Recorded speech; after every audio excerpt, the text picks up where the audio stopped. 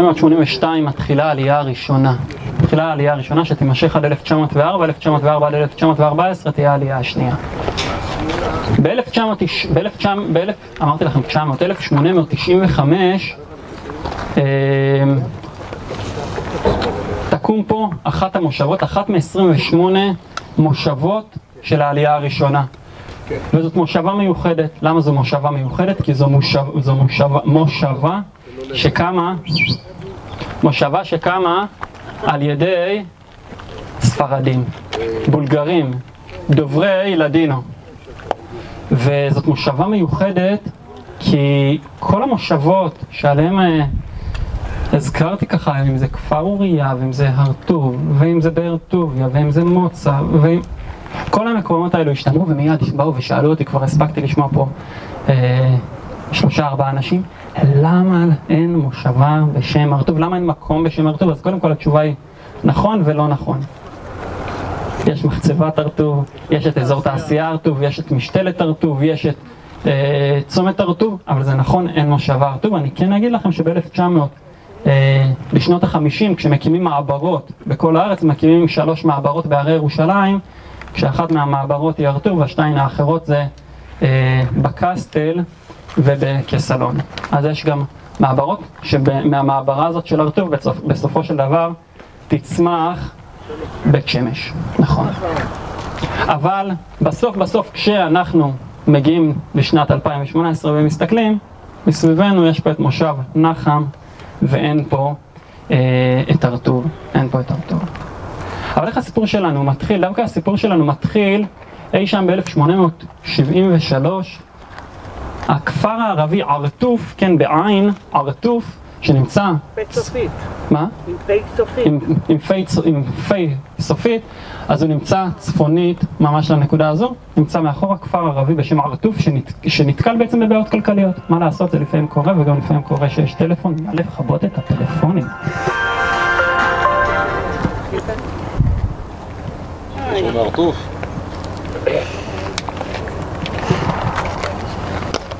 והם נתקלים, הם נתקלים בבעיות כלכליות ומחליטים למכור חלק מהאדמות שלהם, כ-5,000 דונם, מחליטים למכור אותם למישהו, מישהו. מי יקנה אותם? יקנה אותם אדם בשם אספניולו.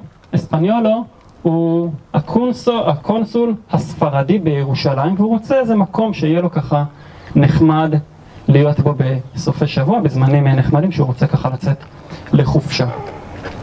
וב-1883 מגיע הזמן שבו קונסול אה, לא נשאר לנצח אה, במקומו והוא חוזר לספרד.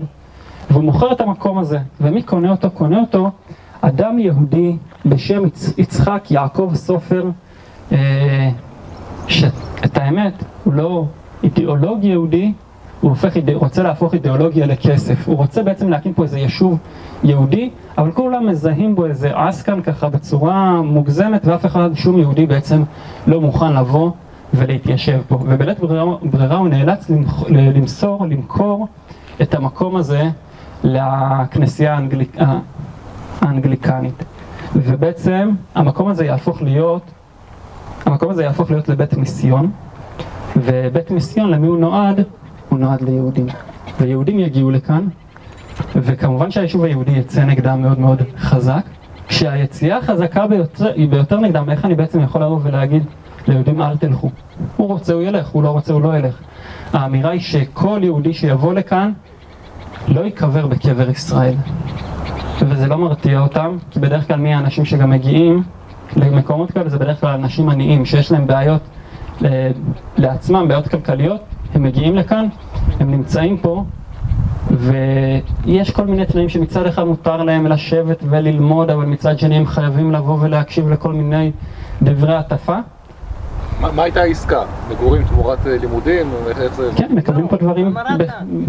זה המרת דת ברור, שזה עניין המיסיון, אבל מבחינת הזה מקבלים כאן מקום אה, לגור, ויש להם כאן אה, קצת עבודה, מביאים להם, בדרך כלל המיסיון בא ומביא לך הרבה דברים בחינם, העיקר שתבוא, תרוויח. אתה תרוויח. יש את השיעורים ביום ראשון שהם צריכים לבוא ולשמוע. אבל יש המרת דת רשמית, הם צריכים... לא, לא, אין משהו רשמי, אין כאן משהו רשמי. יותר מזה, אמרתי, הם יכולים לשבת ולקרוא בתורה גם. יכולים ללמוד, אבל יש להם דברים שלצד שני הם מחויבים. אמרתי שהדרישה, האמירה מצד היהודים, מצד הרבנים, זה קבורה, אין קבורה בקבר ישראל. והסיפור מגיע, בעצם הוא לא מפריע עד שזה קורה בפועל. כשזה קורה בפועל נפטר כאן ילד קטן ורוצים לקבור אותו בירושלים, בירושלים, הר הזיתים, וכמובן שאין הסכמה. וכל תושבי, כל היהודים כאן, כל מי שגרים פה, עולים לירושלים, לבית כנסת החורבה. בית כנסת החורבן, מי נמצא שם? הרב ישראל סלנט, רבם של האשכנזים, זה שבעצם הכי מתנגד לסיפור הזה, ומתחילה שם קטטה. מתחילה שם קטטה ברמה שאדם בשם מאיר אפטר ייהרג בה. ייהרג בה, כן. זה ככה הקבר, הקבר של מאיר אפטר שנמצא בהר הזיתים. בעקבות זו... הוא ירושלמי או שהוא מפה? הוא ירושלמי. הוא ירושלמי, הוא מהחורבה, הוא מהמתפללים של אה, החורבה. בעקבות זו, בעקבות המאורע הזה מחליטים אה, להקים כאן, כן, אנשי המיסיון מחליטים להקים כאן בית קברות, בית קברות שנמצא אה, צפון מזרחית אלינו, ככה על איזה גבעה. לא, לא, לא, לא, לא, זה של אמריקאים ככה. בית קברות קטן, הוא גם היום קטן, הוא מאוד, אה, כאן נמצא בקצה של נחם. קבורים פה, קבורים בו כחמישה עשר, ברובם ילדים דווקא. אחרי שנה, אחרי השנה המקום למעשה, בית המיסיון מאבד מעניינו גם המיסיון עצמו, המיסיון האנגליקני, הכנסייה האנגליקנית מבינה שאין סיכוי לסיפור הזה לקרות, הם מחליטים למכור את זה, מחליטים למכור את כל השטח הזה. למי מוכרים אותו?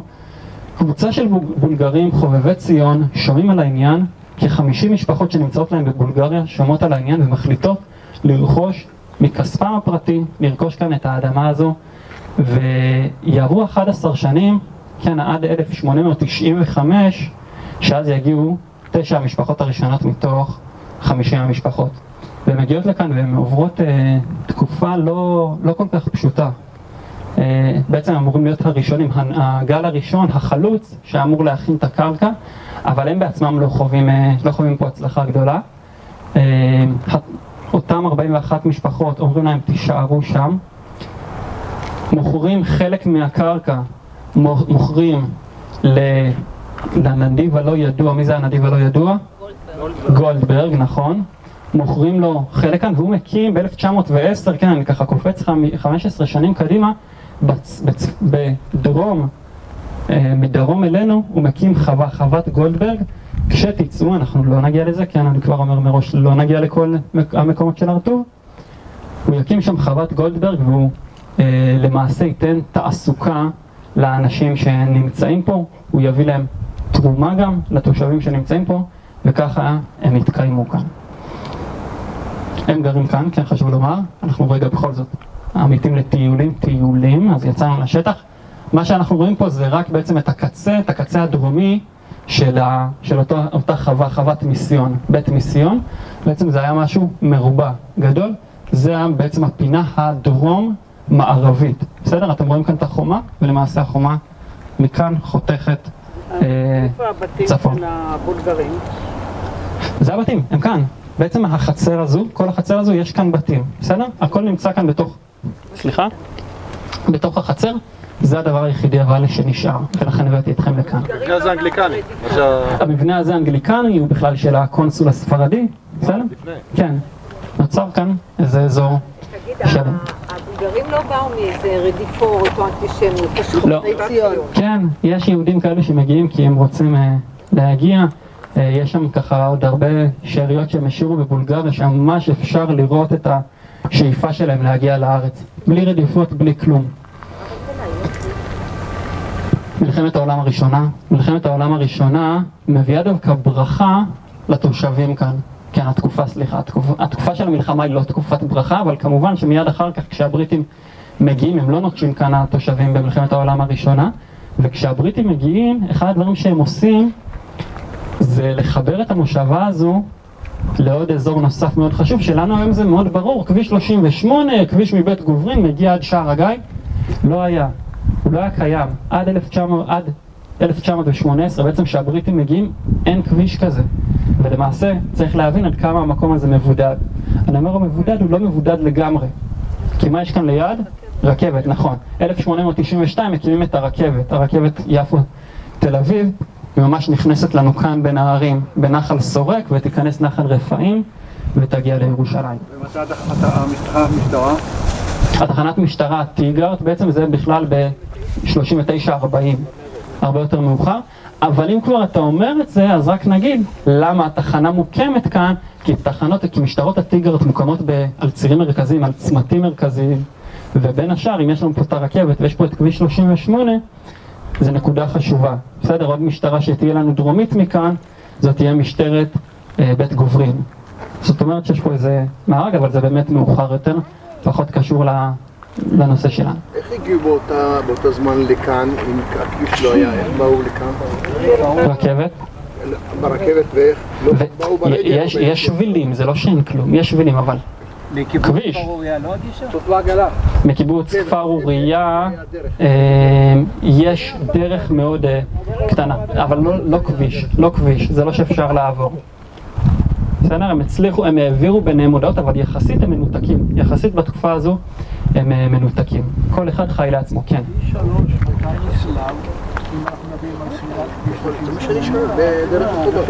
כביש שלוש, כביש שלוש, אתה שואל שאלה טובה, אני לא זוכר לומר לך בדיוק מתי, אבל הוא כבר כן קיים תקופה יחסית, הוא כבר כן קיים תקופה יחסית ארוך. כן, הוא כביש מאוד מרכזי. יש לנו את מסמי, יש לנו הרבה דברים, את הוואדי סרר שיש שם. רגע, רגע, רגע. היינו בסיור של לכיש מספר 7, עם ראובן שדה, הוא ייקח אותנו על הגשר שליד מרכז שפירא, שביצעו אותו כדי לפוצץ אותו, כי זה הכביש שהוביל... אם, אם המצרים היו עוברים שם, היו מגיעים לירושלים. אבל זה כבר אתה לוקח אותנו לתש"ח. זה שבתש"ח הוא קיים, כביש 3 זה ברור. שאלה מתי הוא הוקם, זה אני... כביש 3 זה מערב מזרח. נכון. טוב, כל המלחמות היו באותם צירים. אבל אם היה שם ציר מרכזי וסל... מלחמת העולם השנייה, מלחמת העצמאות, כל הטיולים שאני עושה, אותם צירים, דרך הים, דרך המלך, וצירי אירופה. ההיסטוריה לא שינתה את הטופוגרפיה. ההיסטוריה, ההיסטוריה לא משנה את הטופוגרפיה, באמת, אבל שאלה מתי זה הוקם כדרך אה, חשובה, כדרך אה, מסודרת כמו שצריך אוטוסטרדה. אנחנו חוזרים, בואו בוא נחזור, בואו נחזור, בואו נחזור, כי אנחנו ככה לאט לאט ניכנס פה לעוד, לעוד, לעוד ועוד שאלות, ואנחנו צריכים אה, להתחיל כדי לסיים גם. אז ב-1918, ב-1918 אני אומר סוללים פה כביש, so what? מה זה אכפת לי? וזה אכפת לי כי התושבים שנמצאים פה וסובלים מבעיות כלכליות, אומרים להם בואו תבנו אתם, אתם תבנו את הכביש הזה. בעצם הם מקבלים תעסוקה, תעסוקה מאוד גדולה וצריך לומר את זה. הבריטים מביאים תנופה אה, של, תנופת בניין מדהימה לכל הארץ והיהודים מאוד מאוד נהנים מזה. זה קצת זורק אותנו קצת קדימה לתרפ"ט, כי מי יסבול מזה כל כך הרבה? הערבים. אנחנו מקבלים הרבה מאוד מאוד אה, פרויקטים לבנייה. סולל בונה. סולל בונה, יש את... אה, יש בעקבות אה, טרומפלדור, כן, לזכרו של טרומפל, טרומפלדור, גדוד העבודה המוקם. זאת אומרת, יש פה הרבה עבודה שאנחנו מקבלים וזוכים. אני זורק אותנו קדימה לגדר הצפון. סולל בונה הקימו את כל המשטרות טיגרד שהזכרנו כאן לפני כמה זמן. המצודות, כן, הרבה מאוד דברים שאנחנו זוכים, וזה מעצבן את הערבים, הם לא אוהבים את זה, הם לא כל כך נהנים מהסיפור הזה. אני הולך מכאן רגע ל-1929, חייבים להיזרק פנימה. ב-1929, מאורעות תרפ"ט, יש כאן כבר ביום שישי, כשיש בירושלים את כל המהומות ושיש בחברון את כל המהומות, גם כאן מתחילות התלחששויות. מתחילות כאן התלחששויות, והמוכתר של הרטוף בא ואומר להם, בואו לבית שלי, בואו לבית שלי, אני אשמור עליכם. והתלבטות, כן, לא, כן, לא, בהתחלה יש כאלו שהולכים באיזשהו שלב, הם אומרים, אנחנו מתלבטים אם כן ללכת או לא ללכת, ומחליטים לחזור. למי חוזרים? חוזרים לבית של המוכתר אה, של אה, הרטוב, בשם לוי, עוד רגע אני אזכר מה שמו הפרטי. בן ציון זה הבן, אם אני זוכר נכון. הם הולכים, כולם נמצאים בתוך הבית, ואז תתחיל ההתקפה. יום ראשון תתחיל ההתקפה, התקפה של שש שעות, כשכולם נמצאים בבית אחד, ומה שהערבים עושים זה פשוט הורסים עד היסוד את טרטור. ונמצאים יהודים בתוך בית במשך שש שעות, המקום מבודד לגמרי, אין שום קשר עם שום מקום, ואז אחד הנערים לוקח יוזמה, מתחפש לאישה ערבייה, ופשוט הולך בין הפורעים לתחנת הרכבת. תחנת הרכבת אה, שבמרחק קילומטר וחצי מכאן, והוא הולך ומבקש עזרה. מתקשר לחבר שלו שיושב בלוד, בתחנת רכבת המרכזית של הארץ, בשם פיליפס, הוא בריטי, והוא אומר לו, שמע, המצב של הרטוב קשה, אנחנו חייבים עזרה, חייבים חייבים עזרה, ולפנות בוקר, לפנות בוקר תצא שיירה מכאן, מאותו בית מבודד, כשכל הערבים מסביב, ובשקט בשקט ילכו להם עד לתחנת הרכבת. ובתחנת הרכבת תגיע רכבת מירושלים, תאסוף אותם, והיא לא תעצור בשום מקום עד לתל אביב. ומספרים אותם אנשים שכשהם מסתכלים בחלונות החוצה, קודם כל הם רואים שנאה, כן, באותן תחנות רכבת שהערבים מחכים, רואים שנאה מאוד, מאוד גדולה. אבל מה הם עוד רואים? הם רואים בשדות, הרבה אנשים הולכים להם עם שקים. למה עם שקים? הביזה. הביזה. לבוא לקחת את הביזה, את כל הביזה, והמקום למעשה מתרוקן אה, לחלוטין. לא נשאר יסוד כמעט, לא נשאר כמעט אבן על אבן במקום הזה. מי סיכם על הנסיגה? החלטו להם לצאת. זה הבריטים התערבו? כן. יש, לא, סליחה, טוב שאתה שואל. יש שלב שבו הבריטים מגיעים לפה, שני משוריינים בריטים מגיעים לפה, מסתכלים ימינה, מסתכלים שמאלה, ואומרים, יהיה בסדר, וממשיכים הלאה. עכשיו כמובן שבמחשבה הראשונית זה מאוד מעצבן ומכעיס. כמה אתם, אתם זוכרים כמה אנשים אמרתי לכם שיש בריטים, כמה שוטרים בריטים יש בארץ באותו זמן? 292 שוטרים בריטים. עכשיו רגע, רק צריך לומר, יש נוטרים יהודים, יש נוטרים ערבים, זה מבחינת המשטרה היא משטרה קצת יותר גדולה, אבל זה באמת מעט, כולם נמצאים בחופשה. מיד יבואו ויקראו ל-600 בריטים ממצרים. שש אוניות מלחמה יגיעו לחיפה, אבל זה ייקח כמה ימים. זאת אומרת, כשבאים ואומרים שני משוריינים בריטים עוברים כאן ולא עושים כלום, והם מסתכלים ואומרים, יחסית המצב בסדר, זה רק כדי להסביר לנו כמה המצב לא בסדר, כמה המצב בעייתי בארץ, שבאמת הבריטים חסרי אונים. יש פה מלחמה בין שני צדדים, ו-292 שוטרים לא באמת מסוגלים לבוא ולעשות משהו. קראו לו יצחק לוי. יצחק לוי, תודה רבה.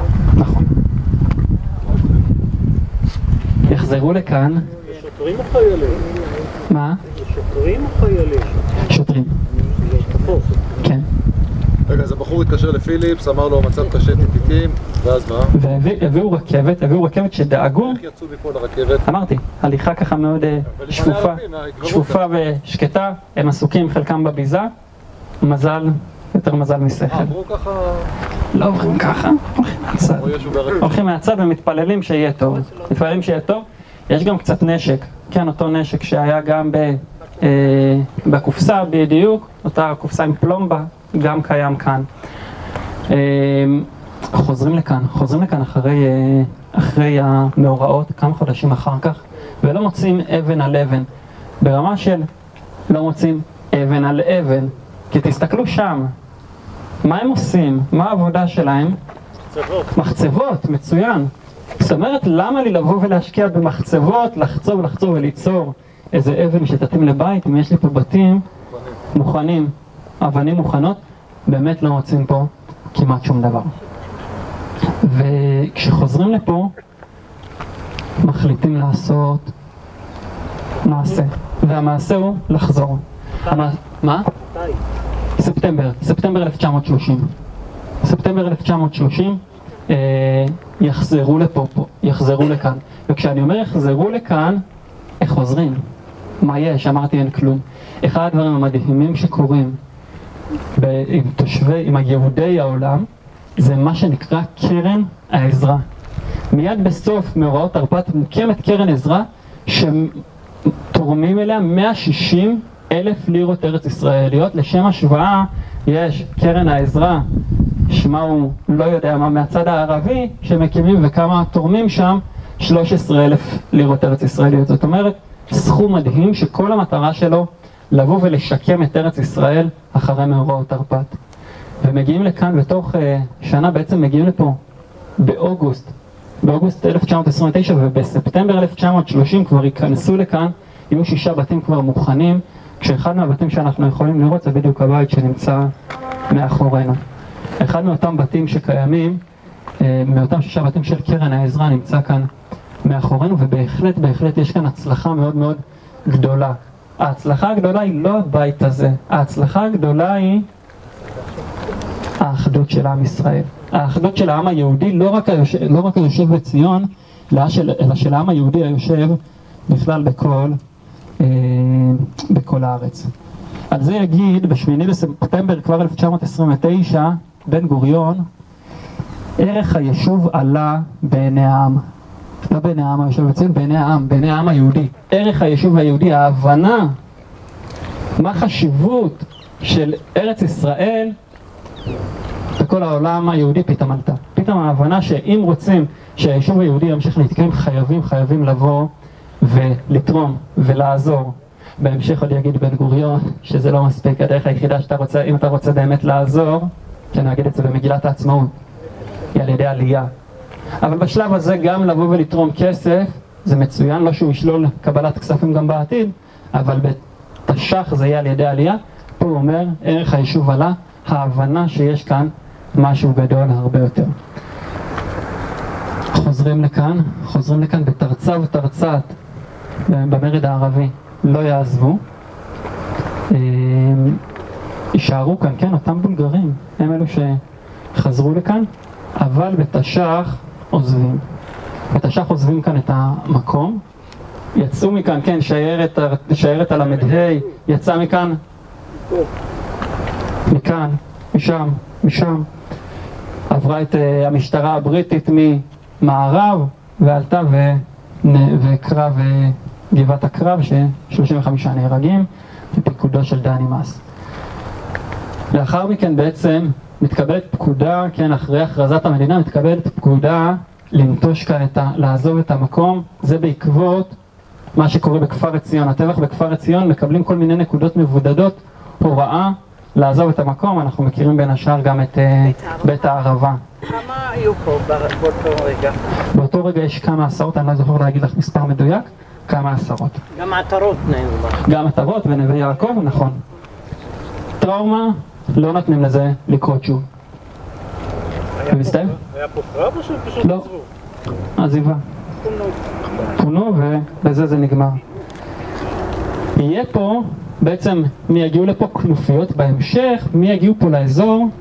המצרים, כן? כשאנחנו מדברים על המשלט המשותף, שדרך אגב לפני שבוע וחצי שמו שם ככה שלט אה, חדש ומסודר, אז אה, המשלט המשותף זה רחוב, רחוב, אה, המש, רחוב המשלט המשותף. איפה המשטח של הדשא? איפה המשטח של הדשא? כן, כן, יש שם ככה איזה מעין מצפה נחמד. הבטיח. ומה, ש... ומה שקורה אחרי שעוזבים בעצם, יש לנו פה את המצרים, כנופיות מצרים, יהיה לנו את קרבות עשרת הימים בעצם בין ההפוגה הראשונה להפוגה השנייה, בין השמיני לשמונה, בין השמיני לשמונה עשר ביוני, ו... ביולי, תודה רבה, נכון, ואז בעצם מה היינו מצפים? כבשו כאן את המקום, חוזרים. אבל זה לא קורה. ב-1950 בעיתון דבר מופיע ככה דיבור ממש על מה קורה עם המושבה הרטוב, למה היא לא נעזבת, ותלונות מאוד מאוד קשות. כי מה שאומרים, מה שאומרת הממשלה, השטח הזה הוא של, מבחינתם הוא נפקדים. נכסי נפקדים, הם אומרים, מה? אנחנו נפקדים, אנחנו רוצים את השטח הזה. הם מגיעים לפה והם רואים את תושבי צורה, באים ורואים בשטח שלהם. ובעצם לאט לאט הם מבינים שאין להם פה שום דרך אה, להמשיך להתקיים. אין להם שום סיכוי לבוא ולחזור לפה, יש להם כל מיני הצעות, הבטחות מבן גוריון. שום דבר לא מתקיים, אומר כאן. אבל פוליטיקה לפעמים מה לעשות, יש לפעמים שכדי להבין את ההיסטוריה צריך להבין גם את זה. האדמות שלהם אין. עברו לקיבוץ, לא? העבירו את האדמות לקיבוץ. נכון, נכון, כן. לקחו מאנשים העבירו, נלקח בשקט. גוף ציוני, וזה אז, אה, אה, אה, אני נגד, אני נגד לה- לערבב פוליטיקות בתוך הדברים, אבל לפעמים כשזה נצרך זה נצרך. כשאין לך גוף שמוביל אותך, כשאין לך גוף שמוביל אותך, אז אתה באמת לאט לאט נאבד בתוך ההמון. נווה אילן, אה, לא. אה, לא, זה סיפור אחר, סיפור אחר נווה אילן. סיפור אחר נווה אילן. אה, המקום נעזב, המקום נעזב, הרטוב בעצם למעשה לא תחזור לעולם להיות כמו שהיא. יהיה כאן, יהיה כאן מושב שיוקם בהמשך, מושב תימנים, מושב נחם. יש פה את המועצה האזורית, יש פה בית ספר, בית ספר הרטוב, יש הרבה דרכים לבוא ולהזכיר, לא אני מאלו שמדברים תמיד את הזיכרון, את הדרך לזיכרון, זה יוסי שפנייר וישראל רוזנצון, כבודם במקומם עומד, אבל אה, לבוא ולזכור איך באים אה, וזוכרים מקום, זה נשמע לפעמים מה, משתלת הרטוב, כן, משתלת הרטוב זה שם, אזור תעשייה הרטוב זה שם, הדרך לזכור לפעמים זה בדברים השוליים ביותר, וכשמסתובבים ברחובות ו... פתאום רואים איזה שלט קטן שזה משפחה שמה ומגיע המדריך טיולים ואומר אתם רואים את השלט הזה? אני רוצה לספר לכם מה עומד מאחורי השלט הזה. גם זה זיכרון, גם זה דרכים לבוא ולזכור את המקום. מעבר לזה, באים ומקימים כאן גם מוזיאון.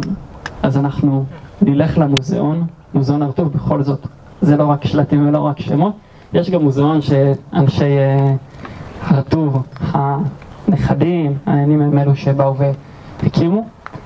חייב לומר, אה, ניסיתי להשיג לכם מפתח, לצערי לא הצלחתי. המקום יפה גם אם בחוץ, המקום נחמד בי בפנים, לא היינו בכל מקרה יכולים לשבת בפנים, אה, אבל בואו נהנה, כי יש גם דברים בחוץ אה, מיוחדים. שאלות, כן. השאלה שלי שואלת.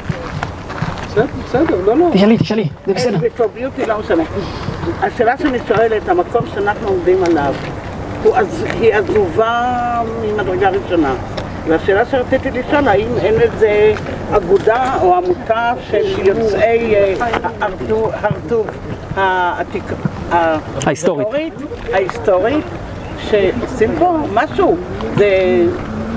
אז אז זה בדיוק- אז זה בדיוק מה שאמרתי, אנחנו עכשיו אנחנו הולכים למוזיאון לא, not the same. אני לא מדברת על הלולים ועל כל זה של המושב, אבל כל האזור הזה זה...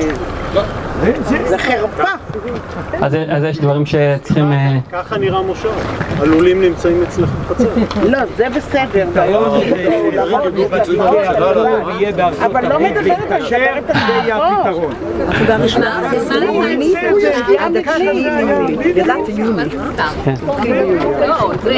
עוד שאלה? רציתי להוסיף, בבית הקברות פה של נוחם, אני לא שומע. בבית הקברות של נוחם קבור אה, זאב וילנאי ואשתו. נכון, בבית הקברות, בית הקברות אה, ארץ הצבי, קבור אה, זאב וילנאי, מי שאמר, בארץ החיים, סליחה, אין אהבת הארץ, אומר לנו זאב וילנאי, אין אהבת הארץ ללא ידיעת הארץ, כל מה שאנחנו עושים היום זה לדעת את הארץ, כמו שאומרים בצורה הרבה יותר יפה, מה זה לדעת את הארץ, לדעת את הארץ, זה כמו וידע אדם את חווה אשתו לדעת, לבוא, לעשות מעשה, לכבוש, לעשות מעשה. הדרך לדעת את הארץ זה באמת לבוא ולטייל ולהכיר אותה דרך הרגליים בצורה הנפלאה ביותר.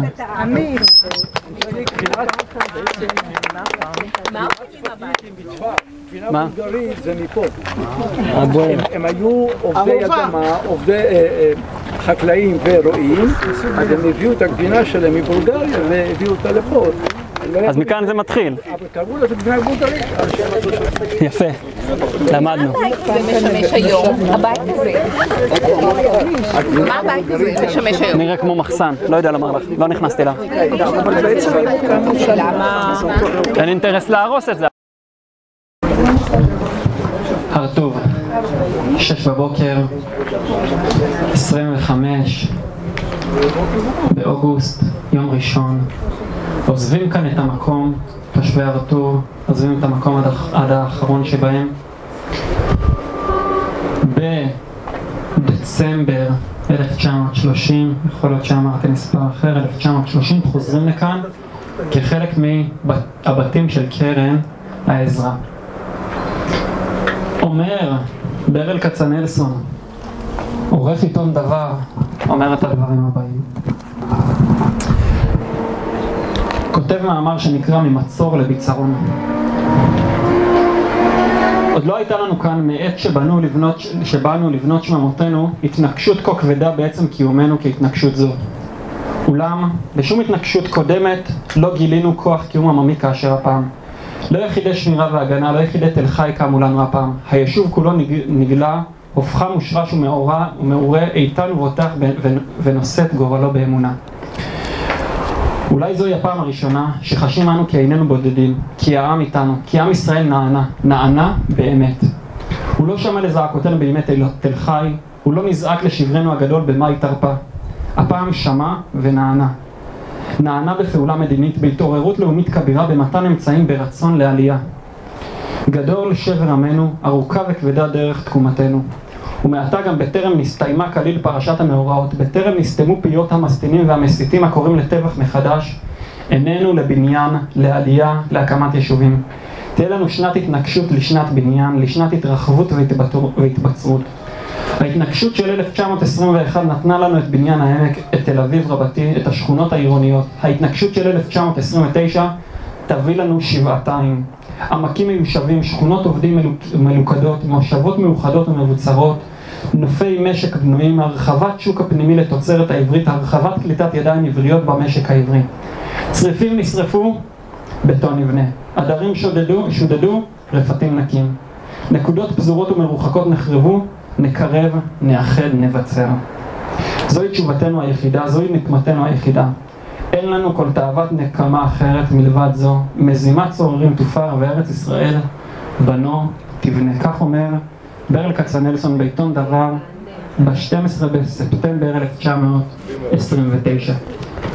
וצריך לומר, צריך לומר ככה, כשבאים לסכם, כשבאים לסכם את מה שהיה כאן במאורעות תרפ"ט, אנחנו יכולים לבוא ולראות שבעצם הפעם הראשונה שהדרכתי את זה, אני אגיד לכם, הייתה בערב, אה, בערב פורים. ובערב פורים, כשקוראים במגילה, יש מושג שנקרא הורדת הטבעת. הורדת הטבעת, הרגע שבו המלך מוריד את הטבעת ומושיט אותה להמן. ובאותו רגע בעצם היהודים מבינים שאין להם שום ברירה חוץ מאשר לעשות מעשה ולדאוג לעצמם. אין להם שום ברירה, כן, איך אומר מרדכי לאסתר? אם החרש תחרישי, רווח והצלה יעמוד ליהודי במקום אחר. אל תדאגי, אנחנו נעשה משהו, יקרה משהו. אבל את נועדת בשביל זה. 1929 נגמר, מאורעות תרפ"ט מסתיימות, והיישוב היהודי אומר ומבין, רגע, רגע, להמשיך ככה, אנחנו לא יכולים. הדרך הזו, שבה אנחנו לא עושים כמעט שום דבר, אני רק אגיד בסוגריים שאחרי מאורעות תר"פ, מקימים בח... בחצר כנרת, מקימים את ארגון ההגנה, ועוד לפניו היה את בר גיורא ב-1907 וב-1909 יש לנו את השומר, אבל זה ארגונים קטנים, ארגונים ש... מקומיים. מקומיים, תודה. ופה זה, זה משהו, הבנה שחייבים לעזור אחד לשני אה, וחייבים להיות בפריסה הרבה יותר רציני. לא יכול להיות שבחולדה אין כלום. צריך להביא את אפרים צ'יזיק ואת יעקב אברמסון ועוד עשרה מגנים מתל אביב כדי שיהיה מישהו שיגן. לא יכול להיות שבבאר טוביה יחכו כמה זמן שיגיעו אנשים, לא יכול להיות שכאן בהר טוב לא יהיה אף אחד. ומבינים ומתחילים לנסות לשכלל את הדבר הזה, כשהשיא יגיע, וזו האמת, יגיע אי שם ב-1937 בעת המרד הערבי, כשמכאן, מכאן, מהר טוב, תבוא הבשורה. מי יהיה כאן בהר טוב מספר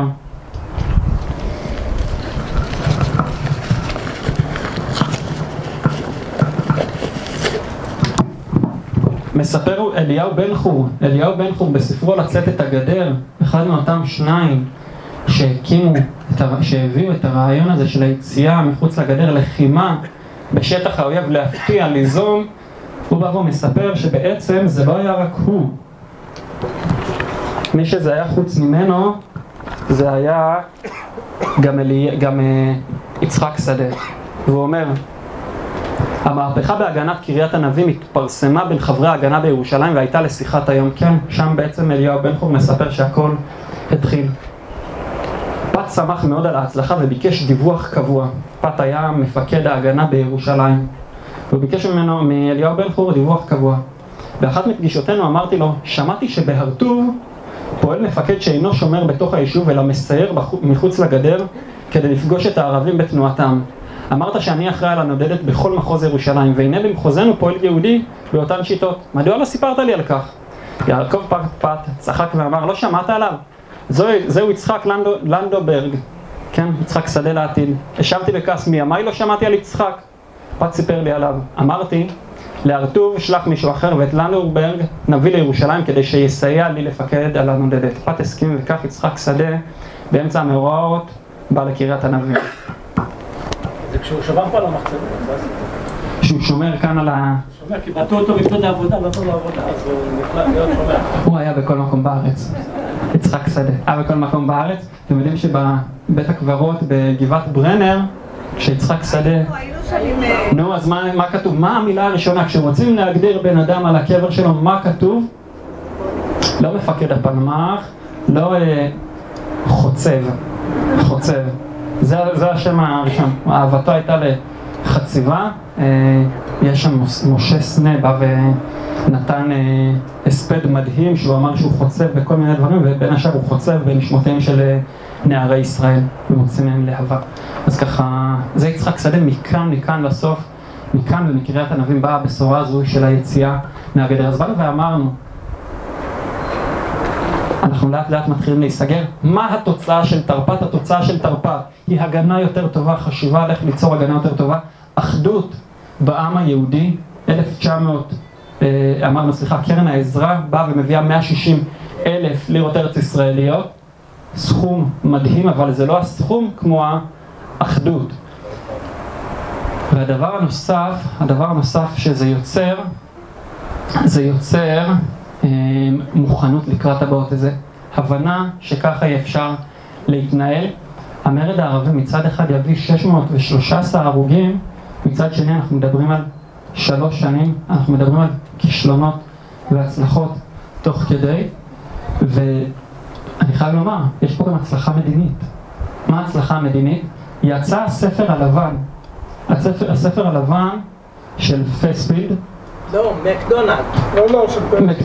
לא, פספילד, ואז תהיה את איגרת מקדונלד, רגע. ואז הספר הלבן יוצא שהוא נותן הגבלה גם בעלייה, גם בקניית אדמות, ואז פתאום קם לו אדם מאוד חשוב, חיים ויצמן, ואומר, לא, לא, לא, לא, לא. אם אתם הבריטים עושים את זה, אני מתפטר. זה מקדונלד. אני מתפטר. מה עושים הבריטים? שימו לב, דבר לא יאומן. הבריטים מסתכלים על היהודי הזה בעיניים, ואומרים לו, וואי וואי וואי. אם אתה מתפטר, אז כנראה שבאמת המצב יידרדר, ואז הם מוצאים את איגרת מקדונלד, שלמעשה מחזירה את כל הסיפור הזה לקדמותו. את כל התנאים שהיו לפני, מבחינת עלייה ומבחינת רכישת קרקעות, מחזירה את זה למצב שהיה לפני אה, מאורעות תרפ"ט. וזו הצלחה מדהימה. לבוא ולראות יהודים, לא מול הערבים, מול, הב... מול הבריטים, ולראות את ההצלחה המדינית שלהם, זו הצלחה גדולה. להתפטר ממה? הוא היה נשיא ההסתדרות היהודית. זה מה שהפריע לבריטים? כן, למה זה מפריע להם? כי הוא הנציג, הוא בעצם הנציג מולם, חוץ מזה שיש להם הרבה הערכה לוויצמן. אה. אבל, אבל באמת הדבר החשוב זה מייצג, מייצג שהסתכלו עליו כמייצג רגוע, כן, חושב, לא הולך בראש בקיר, ומסתכלים ואומרים, אם ויצמן בא ואומר שהוא מתפטר, אז כנראה באמת אנחנו קצת הגזמנו. כנראה שההחלטות שלנו היו קצת מוגזמות. וזה ראש בראש, ומי שמנצחים במקרה הזה זה היהודים. אה, רציתי להוסיף משהו ש... משהו שאמרת, היציאה מהגדר, כל שנה יש כנס וינגייט בעין חרוד, וחיות... של שטרומן. ויחידות העילית של צה"ל מגיעות לשם. זאת אומרת, הקשר מאוד... משה אמר שכל שנה יש בעין חרוד, יש כנס אה, וינגייט בעצם שבין השאר מדבר על היציאה מהגדר, שווינגייט אה, הביא עם פלוגות הלילה המיוחדות והחבלה ב... בכל צינורות הנפט, כן, כנגד אותם כאלה שניסו לחבל בנפט ובעוד דברים. קרן העזרה, מי הבעל הבית? קרן העזרה, בעל הבית, אם אני זוכר נכון, זה מארצות הברית, אם אני זוכר נכון. רוב הכסף זה מארצות הברית? כן, כן. ופה הייתי אמור לסיים, הייתי אמור לבוא ולומר, איזה יופי, אנחנו עלינו על הגל, העם היהודי עלה על הגל, אלא שגם כשיש צד אחד מנגד, יש גם את הצד השני, ובעצם מה שקורה, גם הערבים מתחילים להתחזק. ב-1931 יש קונגרס ערבי בירושלים. ומי ייבחר לנשיא הקונגרס? חאג' אמין אל-חוסייני. וכשהם יקימו את קרן העזרה שלהם, הדבר המקביל אצלם, אז נכון, רק 13 אלף לירות ארץ ישראליות הם אה, יקבלו, אבל הם יקבלו 13 אלף לירות ארץ ישראליות. זאת אומרת שמתחיל כאן איזה קרב ראש בראש בין יהודים לבין ערבים, דבר שיתחיל ולא ייפסק שם. ואם אנחנו מסיימים את הסיור הזה באמירה, היא אולי אמירה לא כל כך אופטימית, אבל היא לפעמים אמירה שקצת להסתכל על העובדות ולחפש את השורש, איפה הדברים מתחילים, ואולי במקרה הזה הדברים מתחילים כמו שהילד כהן בא ואומר, תרפ"ט זה שנת האפס למעשה של הסכסוך היהודי ערבי, ומכאן בעצם צריך לבוא ולהבין לאט לאט מה יקרה במרד הערבי, תרצה ותרצה, סיפור שהוא בפני עצמו אה, מעניין, אולי יום יבוא וגם את זה אני אעביר לכם. אה, וזה בסופו של דבר מה שיביא אותנו לתש"ח עם כל התנאים, עם כל היתרונות שלנו, עם כל הבעיות שלנו, עם למידת הלקחים שהייתה לנו, כן, תרפ"טי זה 133 הרוגים, אבל תרפ"ט זה למידת לקח, איך לבוא ולפעול טוב יותר, ובתרצה ותרצה זה ישתכלל ויהיה הרבה יותר טוב. תודה רבה לכם, שנסיעה טובה.